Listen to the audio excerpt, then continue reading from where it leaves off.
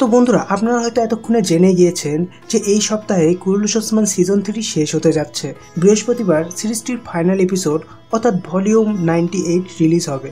সেই এপিসোডটি রিলেটেড প্রথম ট্রেলারটি already release হয়ে গিয়েছে, যেখানে দেখানো হচ্ছে যে দাউদ ওস্তাদ এবং কুমরাল আবদাল বন্দী হয়ে গিয়েছে, আইগুল অনেক বাজেভাবে আহত হয়েছে এবং রোমানস ওসমানবের জন্য ফাঁদ তৈরি করে তাকে একটি জায়গায় ঘেরাও করে ফেলেছে।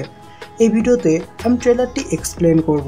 সাথে জানাব যে এই এপিসোডে কি ইয়ানিসার দুর্গ জয় হবে কিনা আইগুল কুমরাল আবদাল, দাউদ ওস্তাদ সবাই মারা যাবে কিনা ওসমানের সাম্রাজ্য শুরু হবে কবে থেকে, এবং সিজন ফোর আমরা কত তারিখ থেকে দেখতে পাবো। এই ভিডিওতে আমি এই সব বিষয় নিয়ে শর্টলি আলোচনা করব। আমার কাছকে সাপোর্ট করতে চাইলে ভিডিওতে একটি লাইক দিয়ে চ্যানেলটিকে সাবস্ক্রাইব করে রাখতে পারেন। তো বন্ধুরা ট্রেলারের শুরুতেই দেখা যায় যে ওসনবে তার সৈনিকদের নিয়ে ইয়ানিসার দুর্গের দিকে যাচ্ছে। পথের মধ্যে রোমানস তাদের জন্য ওত পেতে থাকে। তারা একটি জায়গায় আসতেই রোমানস আগুনের তীর দিয়ে তাদের উপর আক্রমণ করে দেয় এবং এক পর্যায়ে ঘেরাও করে ফেলে, যেটির সাথে সেখানে তুমুল একটি লড়াই শুরু হয়ে যায়। এদিকে মেয়েরা ছদ্মবেশ ধরে ইয়ানিসার দুর্গে প্রবেশ করে জানতে পারে যে দাউদ উস্তাদ এবং কুমাল আবদাল ধরা পড়ে গিয়েছে। পালা খাতুন বলে, আমাদেরকে যেভাবে হোক তাদেরকে বাঁচাতে হবে। এরই সাথে দেখা যায় যে বাইজেন্টাইন সৈনিকরা দাউদ ওস্তাদ এবং কুমরাল আবদালকে বন্দি করে ফেলেছে। দাউদ ওস্তাদ কুমরাল আবদালকে বলে যে, আমরা কি এখন আবার এই কাফিরদের জেলখানায় বন্দি থাকব নাকি?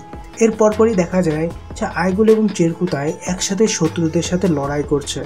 একসময় পেছন থেকে একজন চেরকুতায়ের উপর তীর চালিয়ে দিলে আইগুল সেই তীরটির সামনে চলে আসে এবং তীরটি সোজা তার বুকে এসে লাগে।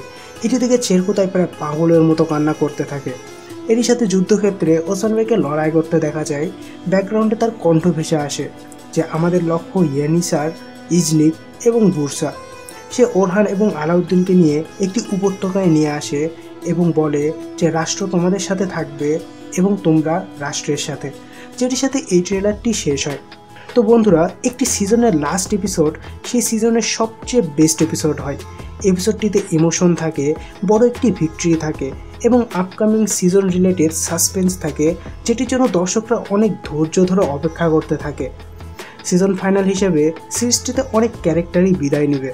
যাদের মধ্যে বড় একটি ক্যারেক্টার হলো আইগুল হাতুন। গত কয়েক এপিসোড ধরে তাকে অনেকবার সিরিজটিতে স্ক্রিন টাইম দেওয়া হয়েছে। আর গত এপিসোডে আইগুল এবং চেরকুতায়ের ইমোশনাল কথাবার্তা শুনে আন্দাজি করা যাচ্ছিল যে এরকম কিছু একটা নিশ্চয় হতে যাচ্ছে।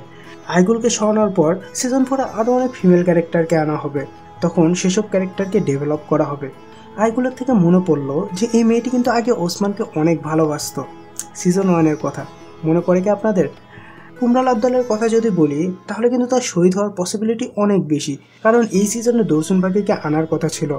যেহেতু তাকে আনা হয়নি, তাই গেস করা যাচ্ছে তাকে সিজন ফোরে আনা হবে। আর তার ক্যারেক্টারকে ফোকাস করার জন্য কুমরাল আবদালকে বিদায় দেওয়া হতে পারে।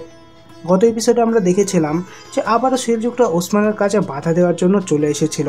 সেখানে ওসমান যেভাবে তার কথার উত্তর দিয়েছিল, সেটি শুনে বোঝাই যাচ্ছিল যে সে প্রায় নিজের রাষ্ট্রের ঘোষণা দিয়েই ফেলেছে। সে সুলতান আলাউদ্দিনের আদেশ অমান্য করে ইয়ানিসার জয় করার সিদ্ধান্ত নিয়েছে এবং বলেই দিয়েছে যে কায়রা কারও ছায়ায় চলে না। পরের এপিসোডের ট্রেলারেও দেখা যাচ্ছে যে ওসমান বে ওরহান এবং আলাউদ্দিনকে রাষ্ট্র সম্পর্কে শিক্ষা দিচ্ছে। অর্থাৎ সামনে এপিসোডে হয়তো সে অফিসিয়ালি সেলযুগের থেকে বের হয়ে আসবে এবং নিজের আলাদা একটি রাষ্ট্রের ঘোষণা দিবে। এই সিজনটিও শেষ হবে একটি গ্রেট ভিক্টরিয়ের সাথে। সেটি হলো ইয়ানিসার দুর্গ জয় এবং নতুন একটি রাষ্ট্রের ঘোষণা দেওয়ার মাধ্যমে। এ বাদেও মোহাম্মদ বোজাক আর কী কী সারপ্রাইজ এই এপিসোডটিতে রেখেছে, তা এপিসোডটি দেখলেই বুঝতে পারব।